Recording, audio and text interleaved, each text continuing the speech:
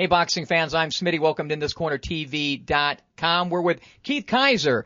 He's, of course, the executive director for the Nevada State Athletic Commission. We're here to talk about the obvious, the controversy going on right now with Floyd Mayweather and Manny Pacquiao. Their fight in jeopardy. Where are we at with this, Keith?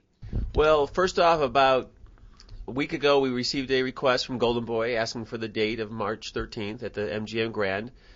Uh, later that same day, that's when the news had broke about the parties trying to reach some sort of agreement on additional drug testing. They, neither side has asked us for any additional drug testing. They, they're, they're doing private negotiations for that, as they did with the purse amount, they did with the the weight, the gloves, things like that as well.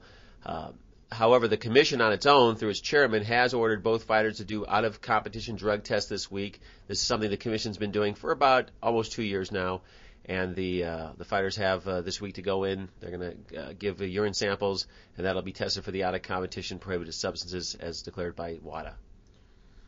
Floyd, of course, wanted this Olympic style testing. What are the primary differences between what he is looking for to happen and what you guys do right now?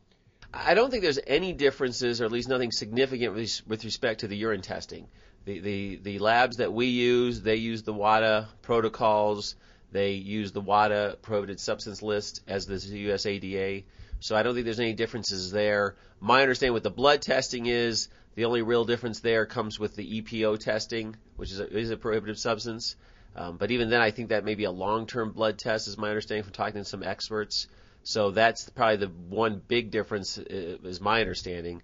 Um, but as far as the steroids go and the other prohibited substances go outside of EPO, the the difference is negligible as we've heard it and you know it, is the situation or has the situation been that Pacquiao is concerned about the uh, the randomness of the test and he doesn't want to have his blood taken too close to the fight because he has said that apparently that weakens him. Is is that apparently the the problem right now with?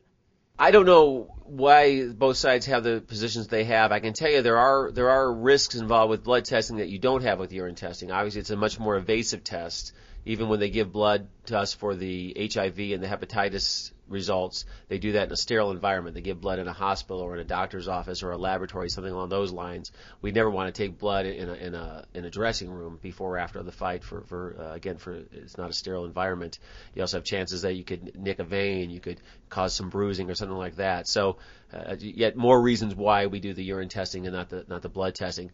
However, again, that doesn't mean that there's not some sort of benefit from blood testing, and it seems like both parties are agreeable to do blood testing uh, in addition to the urine testing by the commission. They're just not agreeable on when uh, to have those tests done or how many of those tests to have, and that's something that they have to decide and, and work out between them. Are you surprised that this snag even came up? I mean, when you heard, what would be Floyd's motivation to even start this, in your opinion? I, I don't know. The again, I, I give a lot of credit to both camps that they were able to reach agreements on the purse, on the weight, on the weight penalty, on on the on the uh, gloves, uh, apparently on the side of the fight as well, coming to Las Vegas at the MGM Grand. So they, they I think they've come a long way. I think a lot of people didn't expect them to get that far. As far as where they're going to end up on the uh, blood testing issue, if anywhere, is up for them to decide. And there is no reason to question anything about Manny Pacquiao. There's never been a suspicion uh, of Manny Pacquiao using any performance enhancing drugs, right? None for either guy. Both gentlemen have been successful moving up in weight over the years. They've passed every single test we've given them. Um, I have great respect for both fighters. Uh, but you know that being said, if fighters want to do additional testing, they're they're free to do that if they reach agreement on it. Just like fighters can do additional medical testing if they want to do that as well. But as far as both these gentlemen go, they've been very professional, uh, very clean athletes when it comes to drug testing in the state of Nevada, and as my understanding, elsewhere as well. Would Olympic style testing, uh, Uh, you know, differ different from what you have right now? Is that something that you folks here would ever consider, or are you happy with the what you have in effect right now? Well, we're happy with what we have now, or we we change it, but we have changed it over the years. We didn't test for steroids before 2001, 2002, right around that period of time and we're able to add that to, to our tests. We've also expanded our, the tests we do for stimulants over the years. So we do have changed it, but but basically what we do is we rely on the experts, as did as did the IOC or the USADA. Uh, excuse me, the USOC does as well with the USADA and the IOC through the uh, through WADA. So again, the labs we use, the, the protocols we have, follow the WADA list. In fact, our in our regulation, we have in, adopted and incorporated the WADA list of prohibited substances. So whenever they add something to their list of substances, it's automatically added to our list. So there there is no again no significant or, or uh, important difference between how they test the urine in the Olympics and, and how we test the urine. And for for the drugs that we're we uh, we deal with, be it steroids or be it drugs of abuse or be it stimulants. The urine tests are there, and we've caught people using it, and we're very confident in those tests. Uh, my understanding is the HGH that people are concerned about that the, the there, there is a urine test out there and there is a blood test out there for that, but the experts disagree on whether either one is very helpful or very uh, uh, useful for, for the experts in the field. So, I, but I'm sure that the laboratories and the experts are continuing to work there on. So I think drug testing has come a long way in the last 10 years, and they'll continue to go further and further, and hopefully will lead to less athletes using prohibited substances. That that ultimately is our goal is, is not to catch people using drugs, it's to stop people from using drugs in the first place. And hopefully that has occurred over the last 10 years since you you guys have implemented it, uh, have you has there been what, what you would consider a problem? Uh, have many fighters tested positive?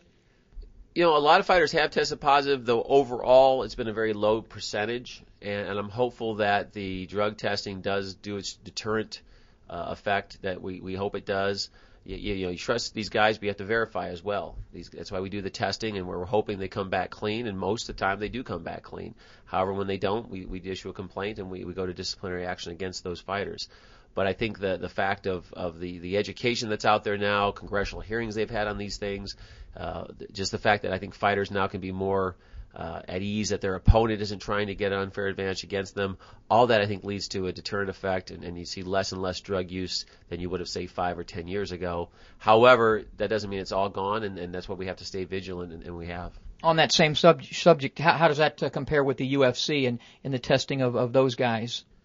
you know, we've had we've had kickboxers, we've had mixed martial artists, and we had boxers all fail tests. But but the vast majority, the overwhelming majority in all the sports, they pass.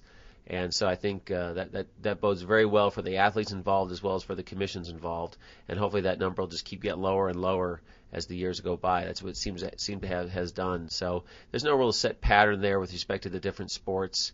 Uh, like I said, there's been positive tests and negative tests for all the sports. Keith, is your office uh, have have you been in touch with uh, Team Mayweather, Team Pacquiao, and the promoters? And uh, has there been a lot of back and forth going on the last few days? Yeah, I've, I've talked to the several. I talked to Al Haymon and Leonard Ellerbe through the Mayweather camp. I've talked to the Arum and and and Todd duBoef and Freddie Roach on on the May, on the Pacquiao side of things. And it seems like they're all still hopeful that so they can reach some sort of agreement on this last issue and have the fight. I think both fighters want the fight to happen, but there is this last disagreement that needs to be solved. So I think they're doing everything they can. Do you think it'll get solved? Uh, I don't know. I hope it gets solved because I think this is a fight that both fighters want to happen and that the fans want to happen. So it's a good thing for them as well as for the fans, as well as for the state of Nevada, as well as for boxing as a whole. So I hope it happens. Uh, again, though, to get this far, I think a lot of people two months ago would, would have said we'll, we'll never get close to getting this thing signed, and they, they got very, very close, and hopefully they'll get over that last hurdle. Well, to uh, Manny Pacquiao and to uh, Floyd Mayweather, with uh, all the uh, boxing fans, the millions of boxing fans here, of course, uh, in America and in the Philippines and around the world that want this fight to happen. There's also, guys, about 35 million other reasons for you guys to make this fight happen. So shut up and fight. Before one final thing, looking into the uh, the new year, uh, 2010. Any uh, new things we could see with the Nevada State Athletic Commission as far as boxing goes? Well, it looks like we're going to have some good fights. We're starting out of the box with a, a big uh, Mosley Berto fight at the Mandalay Bay at the end of the month, at the end of January. So that's a, a great way to start off the uh, pay-per-view year in, in Nevada and I think we'll just continue to see. I think regardless of whether this fight is made, we'll see a big fight in in March. We'll be a, see a big fight as always in May. So I think it'll be a good uh, first uh, half of the year for Nevada. A lot of other cards going on as well, smaller cards, but just as important cards going on in Nevada as well. So I think we'll just continue to do what we've been doing the last 10 years or so, if not more, and that is have high quality fights, be it big venues or small venues for the for the fans and for the fighters. All right, uh, Keith Kizer, the executive director of the Nevada State Athletic Commission for InThisCornerTV.com. I'm Smitty.